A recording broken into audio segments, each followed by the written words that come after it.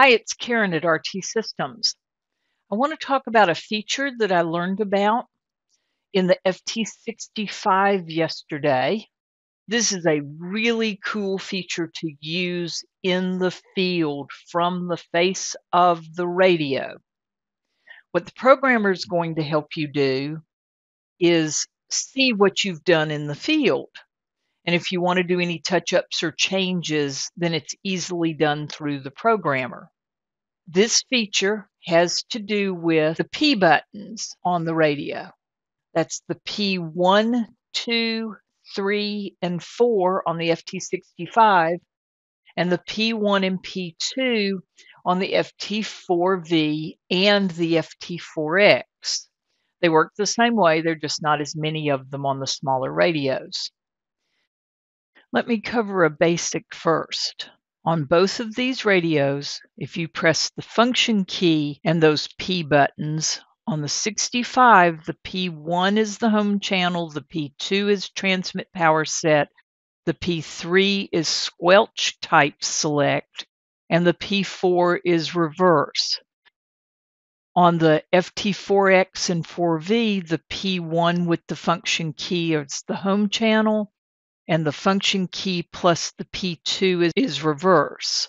These are preset from the factory and cannot be changed. So quick recall keys, P1, 2, 3, 4. We can set it for a menu item. We can set it for a particular memory channel, or we can set it for a VFO memory to set it to a menu item, you might want to consider which one you're setting and experiment with it because some of them can't be changed when they're accessed through these P keys. Others can be. So it's a matter of experimenting with it and get one that works well for you. But this becomes a one button recall instead of having to call up the menu, turn knobs, find your selection, press other buttons, get into it, and make changes. So it's a one button recall. VFO are these VFOs. Memory, and I pick a programmed memory channel. This is the best one button return for a memory channel that I have seen on any radio. Use it to your advantage. It's great.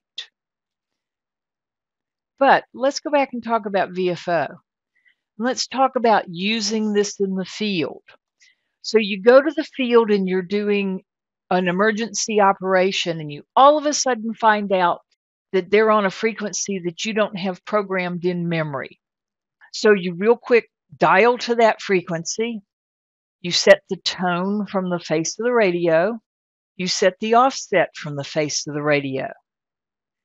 And then you press and hold the P1, P2, P3, or P4 button until it beeps and the beeps will vary from a high pitched beep to a fairly low tone. They mean the same thing. And now you can recall that frequency with its settings at any time. So neat. Instant saving. And then you could use another button and move to a memory channel that they were using too, and then move back to that channel without having to program it all the way into regular memory. You can do that after you get home. Really cool feature. Experiment with it. Use these as additional channels. If you've used up all your memory channels, you got four more right here.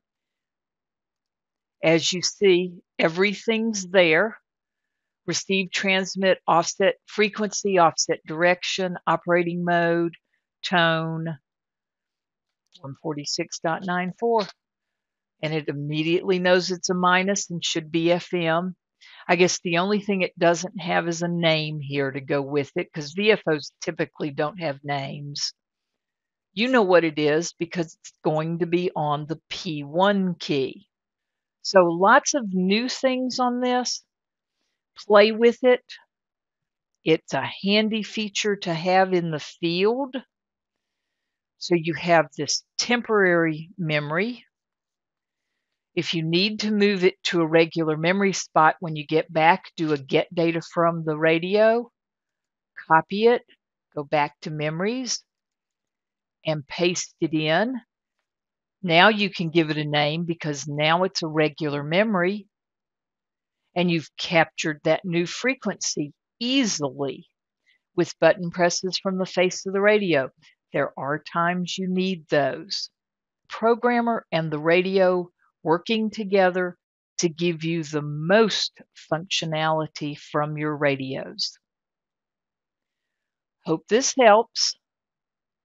And remember, if you think you can or you think you can't, you're right. 73s.